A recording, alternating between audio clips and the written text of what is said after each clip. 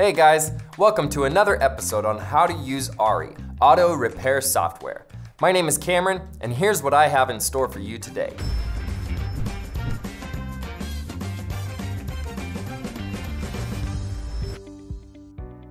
In this video, I'm going to show you how to use the accounting feature in the ARI Auto Repair app.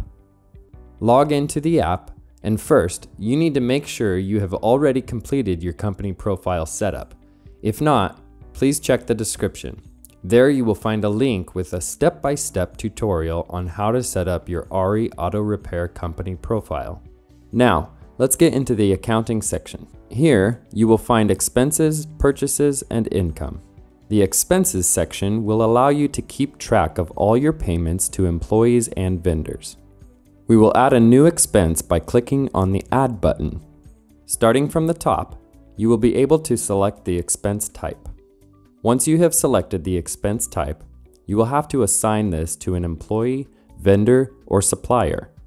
So, you need to make sure you have them registered in the ARI Auto Repair app.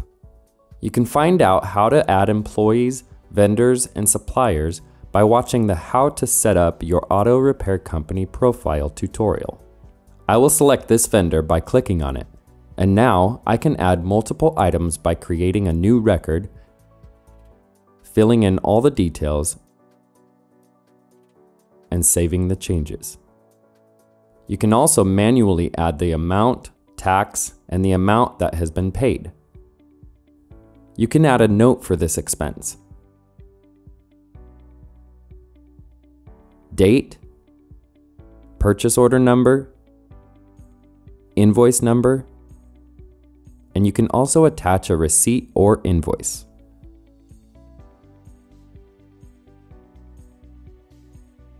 Once you have finished all the details, you can save this expense. Now let's add another one, but this time we will select an employee salary type. I will select the employee,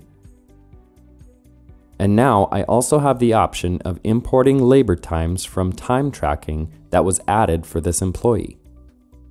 From here, I can select and import time records. Once imported, I can also set different rates or change quantities.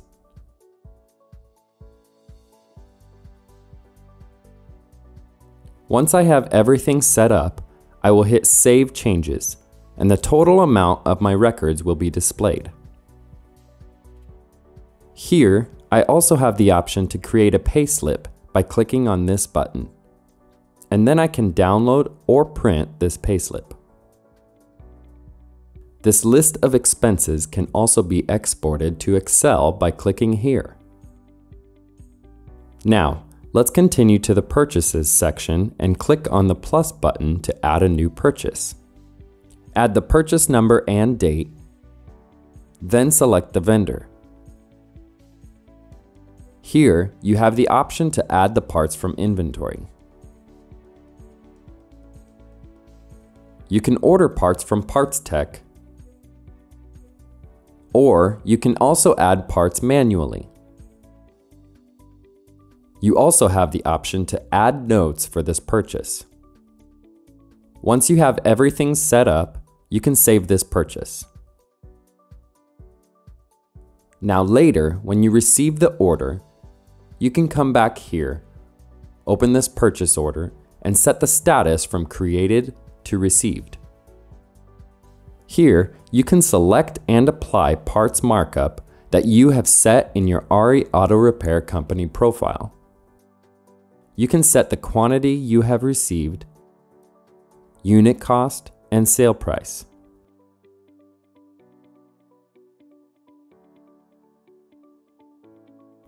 By clicking here, you can calculate the amount spent on the parts. You can also add other extra costs such as shipping or tax. At the end, you have the option to add the new items that you just received in your inventory. So click OK if you want to do that. When you open one of these and click on the More button, you have the option to edit the purchase order, create a duplicate, delete it, or you can also change the amount that has been paid. This list can be exported to Excel.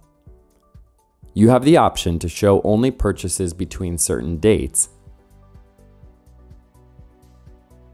or you can see only those ones that are not fully paid.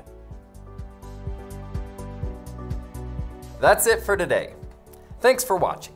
And remember, you can access all ARI features by going pro. You can do this in ARI settings. See you on the next one.